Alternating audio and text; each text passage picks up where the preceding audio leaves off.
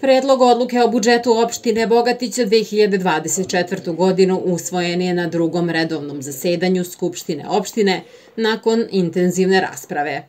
Najvažniju odluku koju Skupština donosi obrazložila je Olivera Maštrapović ispred Odeljenja za privredu, financije i lokalno-ekonomski razvoj, a potom su se u raspravi po ovoj tački za skupštinskom govornicom našli predsednik opštine Milan Damjanović, načelnik opštinske uprave Branko Danilović, kao i odbornici opozicije.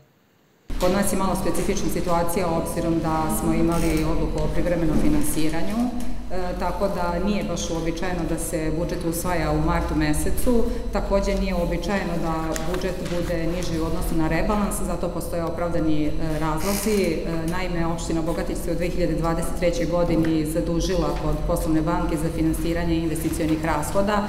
Najveći deo tih rashoda je utrošen u prethodnoj godini, deo koji je ostao prenet je u 2024. godinu i za taj iznos od nekih 40 miliona su niži prihod prihodi u odnosu na prethodnu godinu, kao i za iznos koji je vezan za prihod od e, prekršajnih kazni e, izrečenih u saobraćenim prekršajima, pošto od 1. januara 2024. godine taj prihod se više ne deli sa lokalnim samoupravama, dakle u potpunosti pripada budžetu Republike Srbije. Dakle, iznos e, na kom se uspostavlja ravnoteža za 2024. godinu je milijardu i 45 miliona u odnosu na budžet za prethodnu godinu koji je iznosio milijardu 98 miliona i 200 hiljada. Ono što je e, takođe jako bitno i što moram da naglasim, e, prilikom izrade odluke o budžetu poštuju se instrukcije Ministarstva financija koje su vezane kako za prihode, tako i za rashode. E, dakle, Ministarstvo financija u julu mesecu, poštujući budžetski kalendar, dostavlja lokalnim samoupravama instrukciju koja između ostalog sadrži osnovni parametar kog svaka lokalna samouprava treba da se drži, a to je projektovani rast BDP-a. Za 2024. godinu to je 8,3%, opština Bogatić, kažem, je već iz tih nekih opravdanih razloga u potpunosti ispoštovala, dakle prihodi su neznatno korigovani u odnosu na rebalans, sa tim umanjenjem vezanim za uh, izvor 10, odnosno kredit, i za uh, prihode od uh, kazni izrečenih u saobraćenim prekršajima. E, što se tiče e, budžeta, on se e, priprema i izvršava prema budžetskoj klasifikaciji. Budžetska klasifikacija podrazumeva programsku klasifikaciju, podrazumeva funkcionalnu klasifikaciju, podrazumeva ekonomsku klasifikaciju i ta klasifikacija je jedinstvena. Dakle, koristi se na nivou Republike kako od strane samih republičkih institucija i države, tako i lokalne samouprave. Programska klasifikacija podrazumeva 17 programa, opština Bogatić ih ima svih 17, takođe programske aktivnosti su sastavni deo programske klasifikacije. Na strani 9, član 7 je poseban deo budžeta u kom su rashodi razvrstani po korisnicima.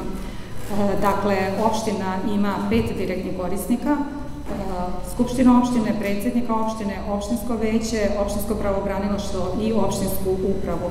Opštinska uprava je jedini operativni e, direktni korisnik jedinice lokalne samouprave, što znači da e, u potpunosti sve poslove izvršava kao direktni, organ e, lokalne, lokalne samouprave, odnosno odluke e, izvršne vlasti i zakonodavne vlasti, dakle predsednika opštine opštinskog veća i Skupštine opštine Bogatića. U okviru opštinske uprave se vrši konsolidacija podataka svih indirektnih korisnika čiji je osnivač opština, ali i dela indirektnih korisnika budžeta Republike, koji se delom finansiraju iz lokalne samouprave, a to su škole, Centar za socijalni rad i Dom zdravlja. Indirektni korisnici budžeta lokalne samouprave su mesne zajednice, kulturno-obrazovni centar, Narodna biblioteka, turistička organizacija i nekog sam preskočila, preškolska ustanova Slava Ković i oni imaju svoje razdele u okviru budžeta.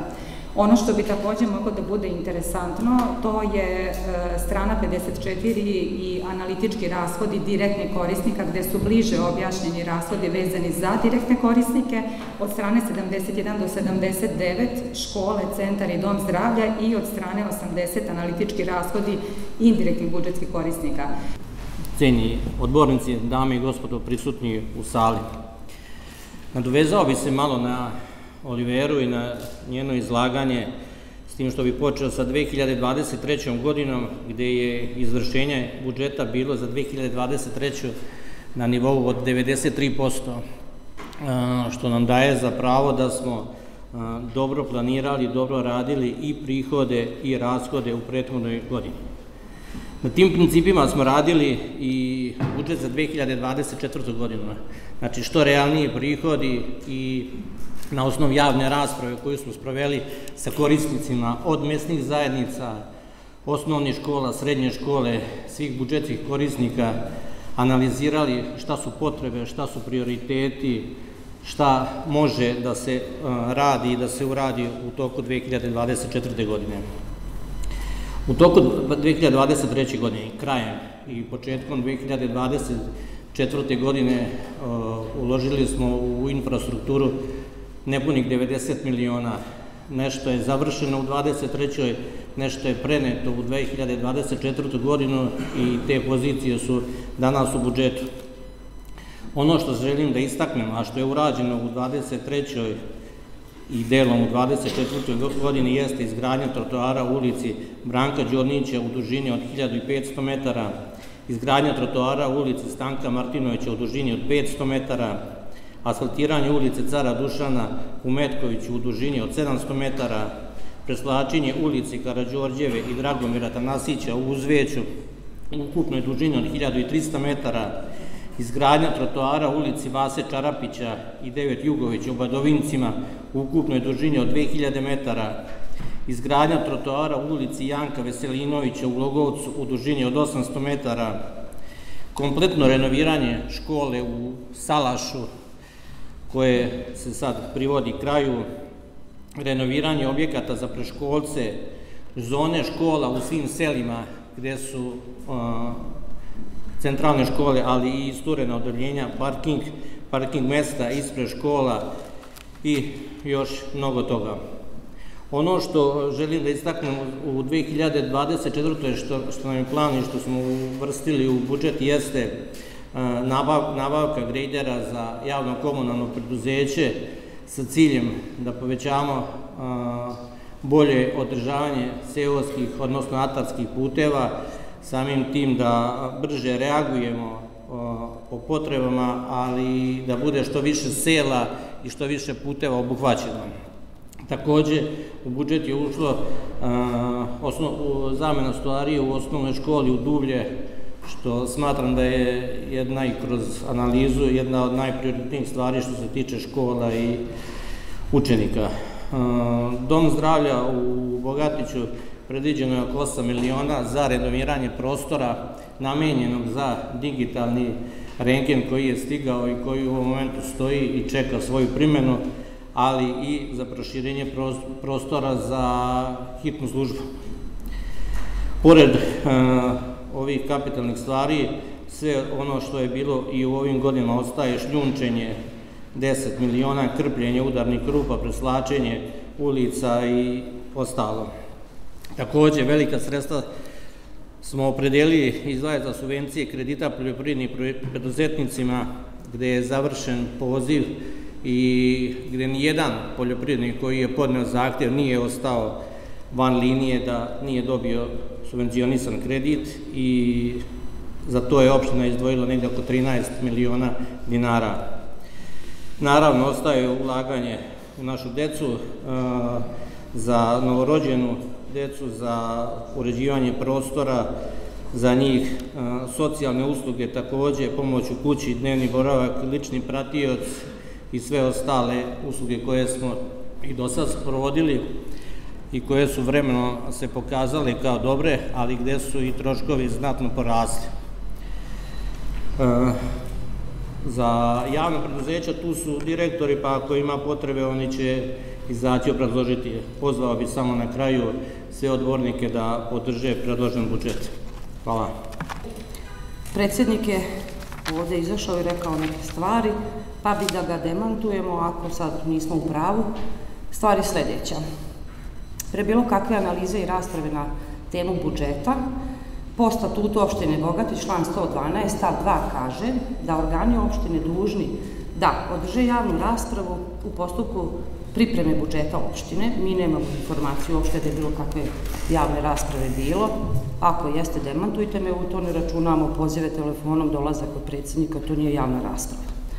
Dalje, ne znam da ste upoznati, svi 29.2.2024. u Beogradu naš predsednik opštine sa još 11 predsednika opštine iz Srbije je bio na Savezu gradova i opština Srbije zajedno sa tih preostalih 11 lokalnih samouprava, gde su se razradile tri neke oblasti. Mi smo u oblasti unapređenje građanskog učešća i transparentnosti. Znači, to je potpisano.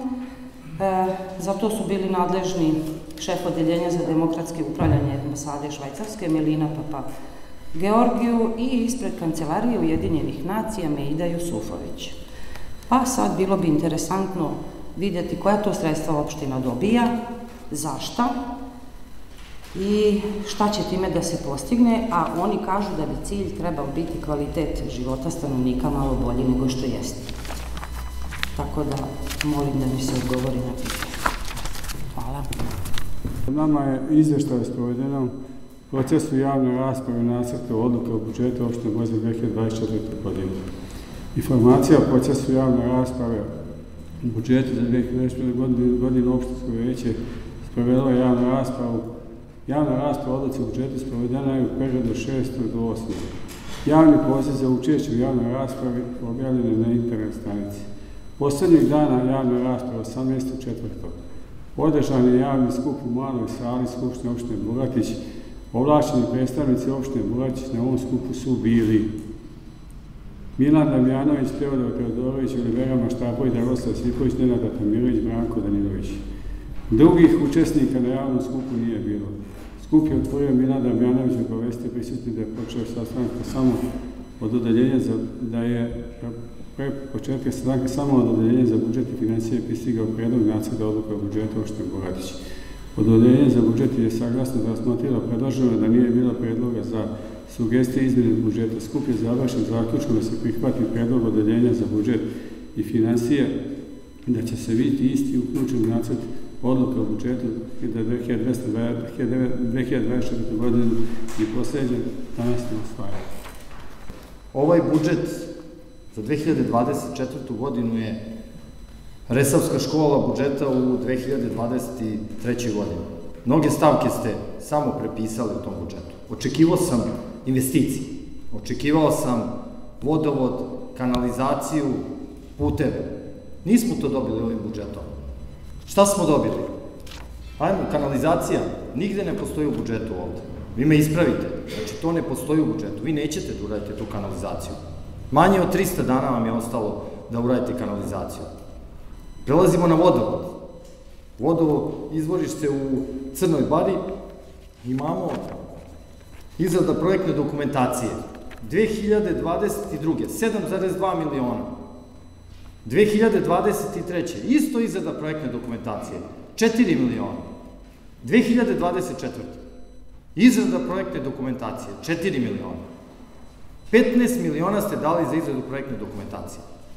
U zaostanom vremenu oko vodovoda ovog u Crnoj Bari ste dali građevinsku dozvolu. Građevinska dozvola 644 kvadrata, ta, taj prostor za e, preradu te vode. Investicija od 2 miliona eura. I očekujete da vam država, da vam ta investicija prođe. Verovatno neće proći. Možda to i jeste cilj, da ova investicija ne prođe. 2 miliona eura. Mogli ste napraviti investiciju koja će opravdavati ta neka manja uložena sredstva i da počnemo da radimo na tome. Vi ovde samo radite projektnu dokumentaciju.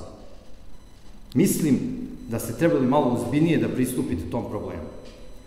200 građana Crne Bare je glasalo za grupu građana Pobeda za maču. Oni neće vodu iz cisterne. 150 građana u Glogovcu je glasalo za pobedu za maču. Oni neće vodu iz cisterne. Ostalima možete i dalje da dovozite vodu, ali oni neće tu vodu iz cisterne, ovi koji su glasali za nas. I ja ovde govorim u ime tih ljudi.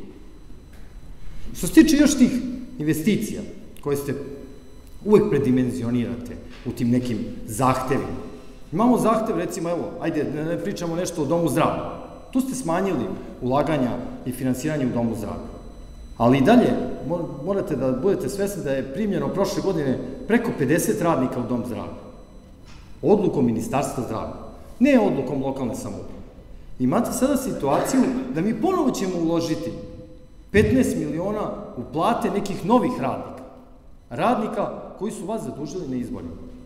Ali da li je realna potreba Doma zdravlja da se uloži u nove radnike koji će raditi na određeno vreme?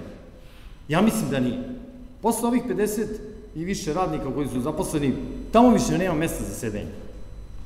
Imate ovaj rengen koji ste rekli 8 miliona za uh, ovaj, pokretanje tog rengena. I taj, I taj ste budžet predimenzionirali. Pa zar je moguće da to toliko košta? Dovođenje vode do tog rengena strujnog će koštati negde oko 2 miliona. Pa kakav je taj kabel koji treba da dovede tu struju? I to vam nije prošlo u ministarstvu. Morate da pazite koliko košta. Ne mora sve što napravite da bude dva ili tri puta skuplje od realnih troškova. Onda smo došli ovde, evo ja sad gledam ovaj budžet, malo pre predsednik opštine pričao o tim trotoarima, pričao o asfaltiranju ulica. Još jedan primer resavske škole, prepisivačke škole. Sve ove od trotoare ste uvećali za jedno 20%. Imamo ulicu Cara Dušana u Klenju i pomenuje malo pre predsednik opštine. Da li vi pokušavate sa ovim što ćete Dragomira Tanasića i Karadžorđevu uzveću sa 20 na 36 miliona, sa povećanjem ovih trotoara u 2024. godini po 20%, gde ste jedno 5-6 miliona navukli. Šta ćete raditi s tom ulicom? Ima vas dosta isklenja, odbornici, odbornici, svi prolazite tom ulicom. Ja bih vas molio, ja sam prošao u petak tom ulicom. Ko je došao na ideju da zakrpite rupe šljunkom? U 21. veku. I sad smo došli u situaciju da je ta ulica potpuno uništena. Pitanje predsedniku opštine, načelniku opštinske uprave, ko je dao dozvolu za kretanje lokalnim putevima, kamionima, ko je potpisao tu dozvolu, kad će put da se vrati u probitno stanje, ko će da plati tu popravku, ko će odgovarati ako se desi nesrećan slučaj, saobraćaj nesrećan sa smrtnim ishodom, Ko je naredio policijskoj stanici Bogatić da ne kažnjava te kamione? Pre nego što je se pristupilo vožnji kamiona preko tih puteva, mi smo imali neke razgovore i sagledavali smo neki opšti interes, ne samo mi, već i zajednički sa mnogo višim instancama. Bilo je poslat saobraćajni inspektor da izađe na lice mesta da vidi da li može da se radi to i da se ne može na radi da se, da se radi to. Tačno je da su do 10 tona za, zabranjeni kamioni, ali radi opšteg interesa, radi izgradnje brze saobraćajnice, radi izgradnje puteva, tad je dozvoljeno. Da, I ja sam postavljao pitanje i svi mi postavljamo pitanje a šta će se desiti kad se razruše rupe, to je novinalno da će se rupe razrušiti. Imamo obećanje obećanje da će oni popraviti te puteve i vratiti u prvobitno stanje po završetku, po završetku posla. Ko nama garantuje da će oni vratiti? Ko nama garantuje da će oni kad po završetku posla samo će da odu? Malo pre ste rekli, imate ugovor sa tim firmama kojima ste dali da prolazite tim putem. U svakoj normalnoj zemlji uzmete pa napravite ugovor sa firmom, ako ste im već dali. Ja i dalje smatram da je to protiv zakona i da niste smeli da im date dozvolu i da ne sme policija da ne radi po zakonu ove zemlje. Naredili ste i policijskoj stanici da ih ne kažnjava. Ovo su ozbiljne stvari. Ja se ne bojim nikoga. I znam da ovo kad pričate o ovakvim stvarima, svi vi ćutite o ovakvim stvarima. Ja se ne bojim nikoga. Ja ću uvek da pričam. Ovako kako sad pričam. Ja sam dobio mandat građana. I ja neću da ovakve slike gledam u Klenju. Neću gledam ni u jednom selu. Ali ovo je katastrofa. Ja vas sve pozivam da odete. I vas, gospodine Makunčeviću, kad krenete kući da idete pored. Jer svaki glas za ovaj budžet je glas za ovo ovde. Pogledajte kakve su ovo slike. Ovo je sramote šta ste napravili. A to je vaša odluka, to nije odluka moja. To je odluka, neko je potpisao. Pitanje je bilo odbornice Nataše. A, za taj projekat sa stalnom konferencijom smo mi konkurisali, mi nismo dobili, nego smo konkurisali, spremili projekat i tražili pomoć stalne konferencije. Cilj tog projekta je, jeste veća transparentnost i učešće građana u svim institucijama opštine, i kod izrade budžeta i kod svega. Znači, nemamo čega da se krijemo i želimo. Formirat će se ja, radna grupa, učešće stalne konferencije, stručnih ljudi, slobodno predložite čoveka, nikakav problem nije. Znači, naš cilj je da ova lokalna samuprava bude što transparentnija i da se osluškuju želje svih građana. Što se tiče kriminalizacije, da odgovorim na pitanje, ako niste upoznati, dužina kanalizacije, odnosno mreže za područje opštine Bogatić iznosi 200 km. Vrednost kanalizacije 30 miliona evra i to ne možemo da stavimo u budžet. Opština Bogatić je deo projekta Srbije Čista Srbija. Očekuje se potpisanje prvi krug opština, očekuje se potpisivanje drugi, drugog kruga. Opština je spremna sa dokumentacijom i izrađena je, dobijena je građevinska dozvola za jedan jednu liniju. Imamo dve linije, jedan je prečišćivač u Salašu, druga je u Crnoj Bari. Za ovaj u Crnoj Bari gde je obuhvaćeno tlenje, Vadovinci i Salaš je dobijena građevinska dozvola i očekuje se potpisivanje ugovora. Što se tiče e, izrade projektne dokumentacije za Crnobar, za vodu, odborniče Milosavljeviću, ti si lekar, nisi ekonomista i cenim to e, kao opravdanje, ali nije, ne može da se isplati 15 miliona, ne može da se isplati 15 miliona za nešto. Predviđeno je projektna dokumentacija, izrada mašinsko-tehničke opreme sa objektom košta 7 miliona i 200. Jedan deo je isplaćen, ovaj deo treba da se isplati. Stigla je dokumentacija, znači nije, da ne baratamo lažima, nije 15, nego 7 i 200 koliko je bilo u prvom delu. Jedan deo isplaćen, ovaj se očekuje isplata u 24. jer su tek dostavili građavinsku ovaj, dokumentaciju i treba da račun, da se to pregleda, da se utvrdi je li urađeno kako treba i da se dostavi račun. Tako da je to košta 7 i 200, a ne 15.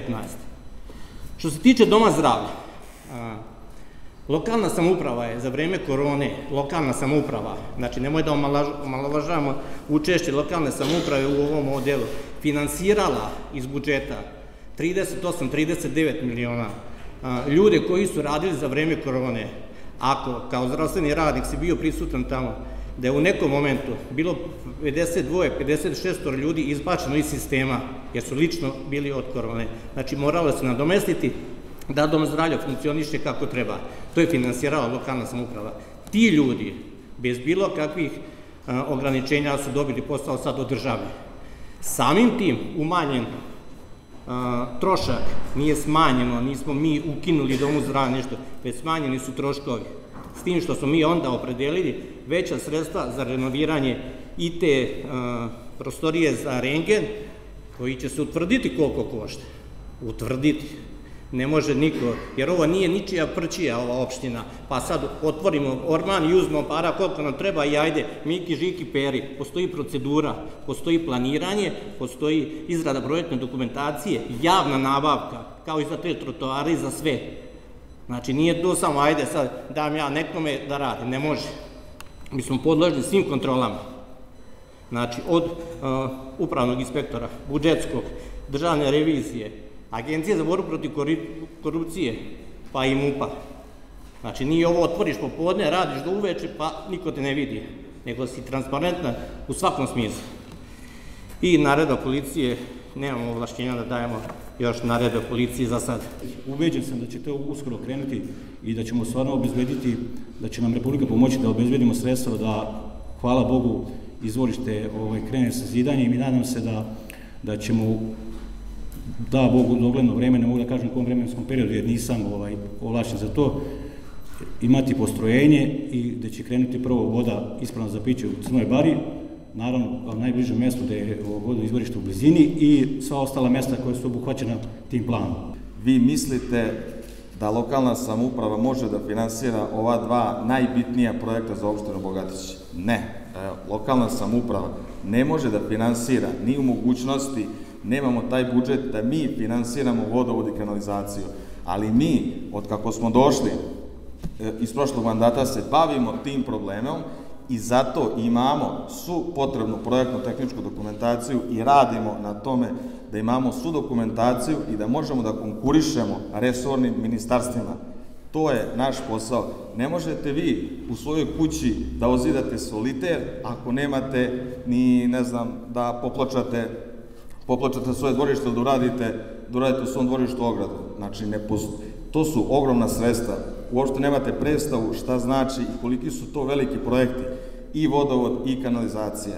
Mi, kao lokalna samouprava, treba da odradimo projektnu tehničku dokumentaciju, da sarađujemo sa ministarstvima, da pravimo dogovore sve što je do nas i da tražimo sredstva, finansijska sredstva kako bi mi mogli ove projekte, projekte da završimo. To, to, to je naš posao i to je naša, naša obaveza. Ja ne znam zašto vi non stop, vi uopšte ne znate, mislim da uopšte ne znate koliko su to veliki projekti i koliko, koliko su to veliki, veliki iznosi.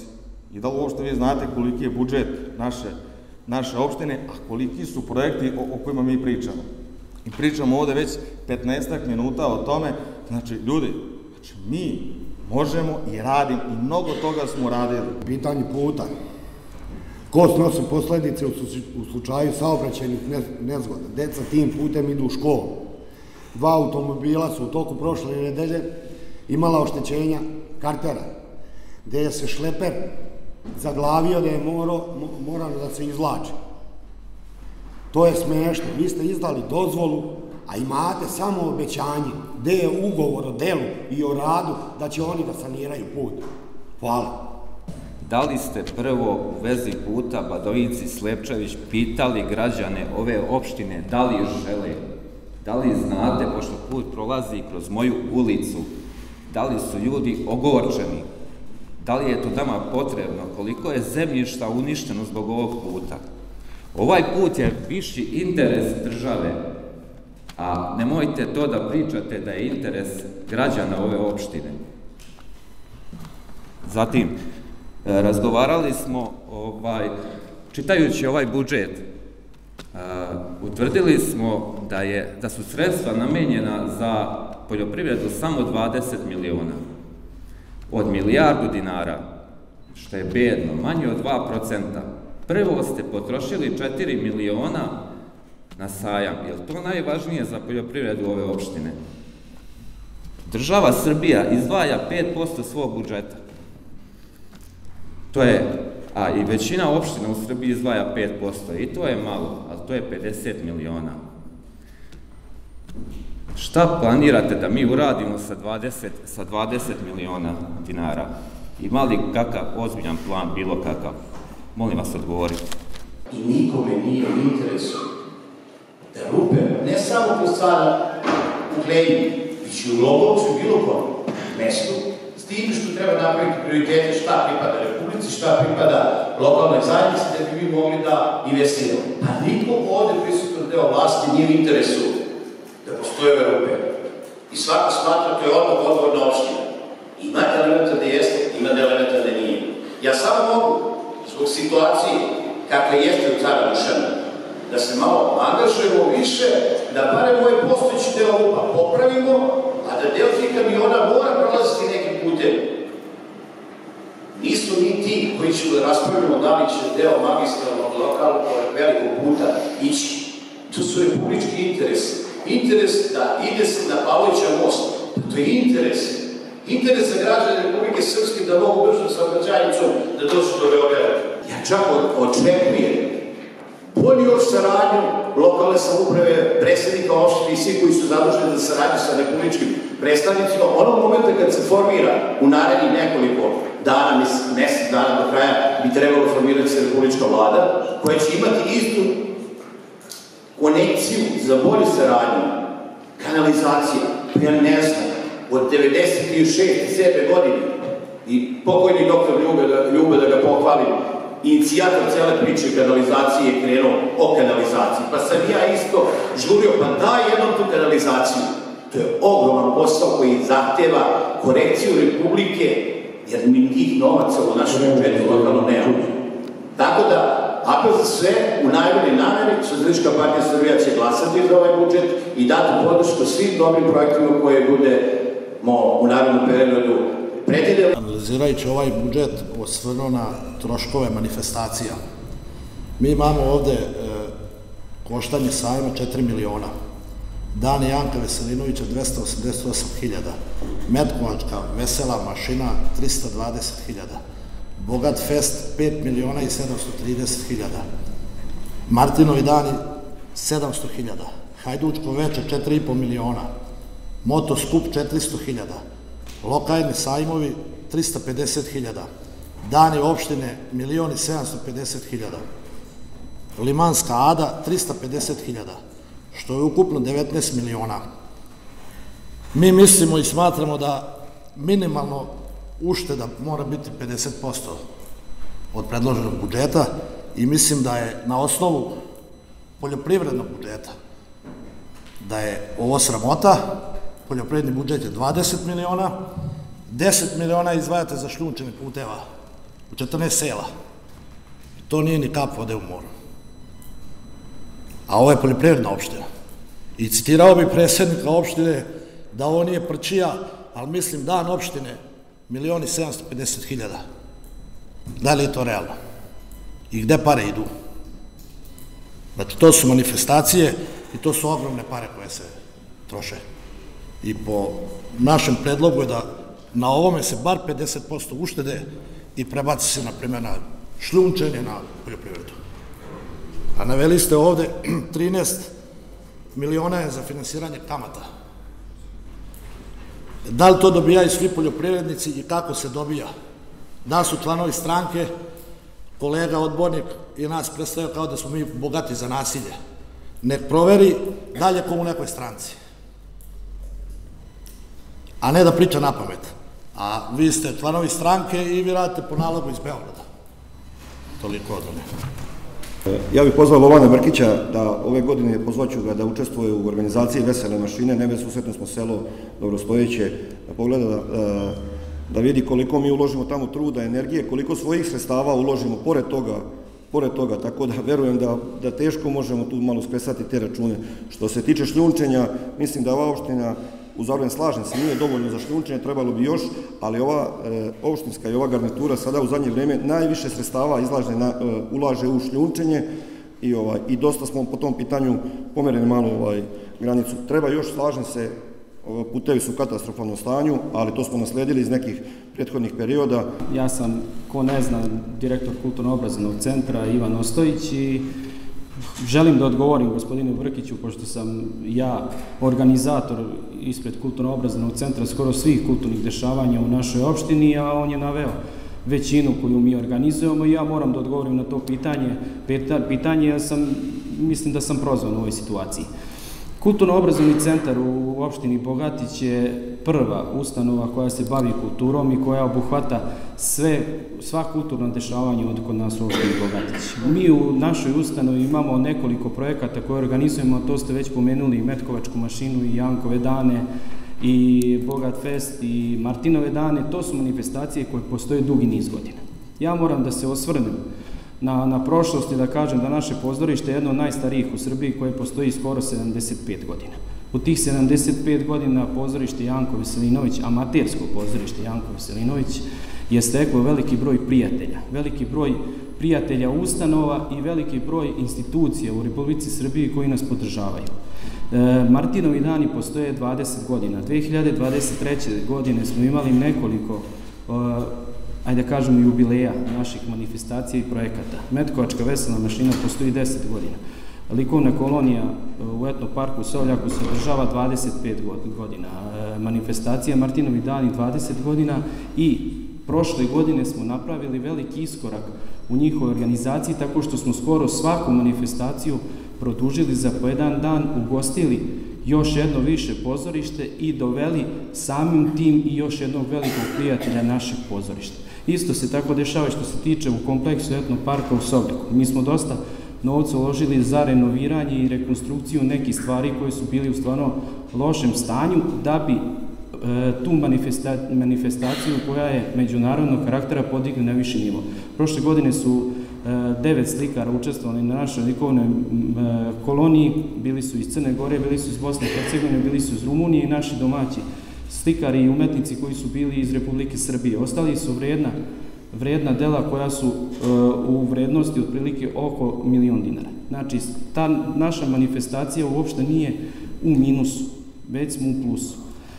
E, mogu bi o ovome da vam pričam još, još više, ali mislim da kulturno-obrazovni centar sa tim e, budžetom koji raspolažemo stvarno na domaćinski način se ponašamo i sve pokušavamo da ugostimo.